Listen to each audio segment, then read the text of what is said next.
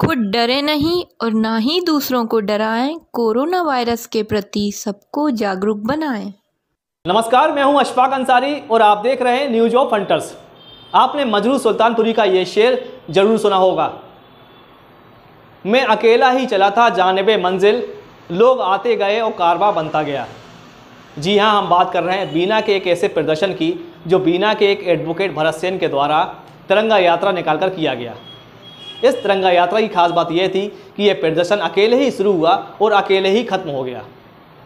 लेकिन इस तिरंगा यात्रा की जो मांग थी, इसका समर्थन भाजपा को छोड़कर सारी राजनीतिक पार्टियाँ कर रही हैं। देखिए, आखिर इस एडवोकेट ने क्यों निकाली तिरंगा यात्रा? वैसे तो चुनाव हारने के बाद अक्सर राजनीतिक पार्टियाँ ईवीएम का दोष सरकार पर मर देती हैं। ईवीएम का रोना रोने वाली पार्टियाँ सोशल मीडिया पर अपनी भड़ास निकाल लेती हैं।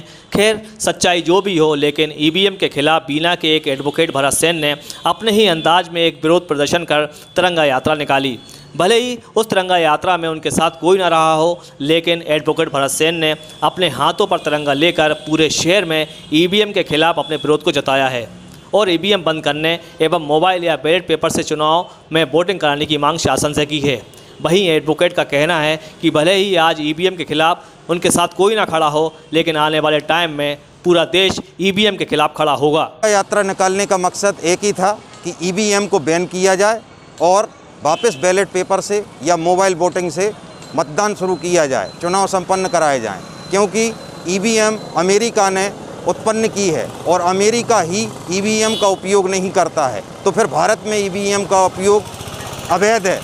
और नेता लोग, सर्वदलीय राजनीतिक दलों के नेता एकजुट होकर सिर्फ़ सत्तासीन रहने के लिए, विपक्ष में रहने के लिए ईवीएम का पक्ष कर रहे हैं और ईवीएम से चुनाव लड़ते हैं। यदि सर्वदलीय राजनीतिक दलों के नेताओं को ईवीएम पर ऐतराज़ है तो चुनाव हारने के बाद ही ऐतराज़ क्यों करते हैं? चुनाव के पहले ही ईवीएम का विरोध करना चाहिए। चुनाव के पहले ही ईवीएम बंद कराना चाहिए।